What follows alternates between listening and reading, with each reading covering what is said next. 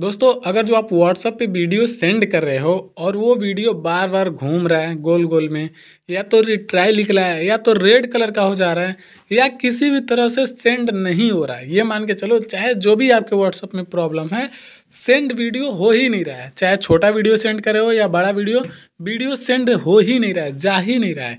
तो इस प्रॉब्लम का मात्र दो सॉल्यूशन है, ठीक है? और ये आपके व्हाट्सएप के अंदर ही है। कैसे करना है वीडियो को ध्यान से देखना। वीडियो बहुत ही छोटा है दोस्तों, एक डेढ़ मिनट का वीडियो बनेगा।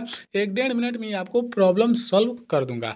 सबसे पहले आपको करना क्या है व्हाट्सअप ओपन करना है। ओपन करने के बाद यहाँ पे थ्री बिंदी है जो, उस पर आपको क्लिक करना है।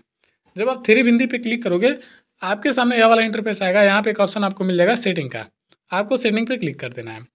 सेटिंग पे आप क्लिक करोगे ना दोस्तों तो आपको यहाँ पे नीचे एक ऑप्शन मिलता है स्टोरेज एंड डाटा का। ये वाला ऑप्शन आपको स्टोरेज एंड डाटा वाले ऑप्शन पे क्लिक कर देना है। स्टोरेज एंड डाटा वाले ऑप्शन पे आप जब क्लिक करोगे तो आपके सामने यह वाला इंटरफेस आएगा।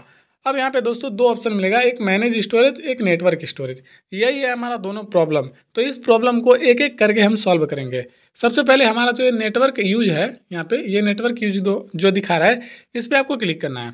नेटवर्क यूज़ पे आपको क्लिक करने के बाद आपको नीचे जाना है। नीचे जाने के बाद यहाँ पे एक ऑप्शन आपको मिल जाएगा रिसेट का। ठीक है तो आपको रिसेट वाले बटन पर क्लिक करना है। और एक बात और, ये रिसेट वाले बटन पे क्लिक करने से आपका चैट वगैरह डिलीट नहीं होगा, आपका व्हाट्सअप डिलीट नहीं होगा। जो नेटवर्क का यूज़ डाटा है, सिर्फ़ वो डाटा डिलीट होगा। एक तरह से व्हाट्सअप का नेटवर्क यूज़ डाटा को हम क्लियर कर रहे हैं, ठीक है? तो आपको रिसेट बटन पर क्लिक करना है, उसके ऊपर से ये पोपअप आएगा, इस पोपअप में आपको यहाँ पर रिसेट बटन फिर मिलेगा। आपको इस रिसेट बटन को क्लिक करना है। अब इस रिस्ट्रेट बटन को क्लिक करने के बाद आपको क्या करना है वीडियो को सेंड करना है।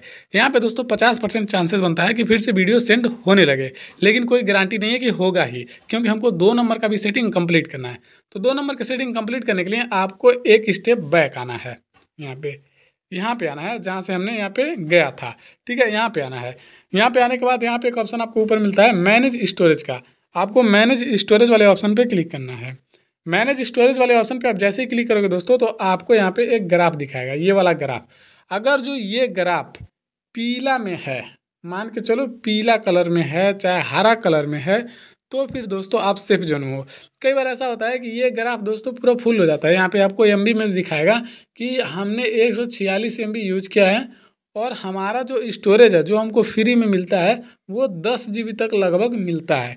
तो इसको आपको देखना है कि अगर जो आप दस जी में से दो जी भी यूज़ कर लिए हो, दो जी ठीक है यूज़ कर लिए हो तो ये मान के चलो आपका जो व्हाट्सअप का जो स्टोरेज है, वो फुल हो गया है।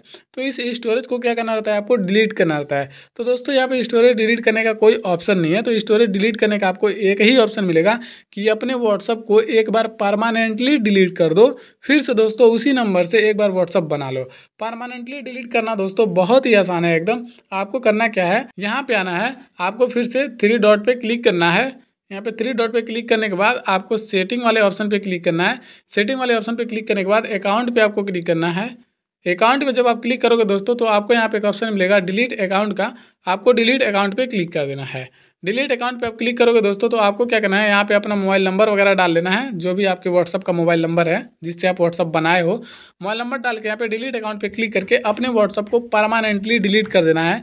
परमानेंटली डिलीट करने के बाद तुरंत फिर उसी नंबर से अपने व्हाट्सअप को बना लेना है।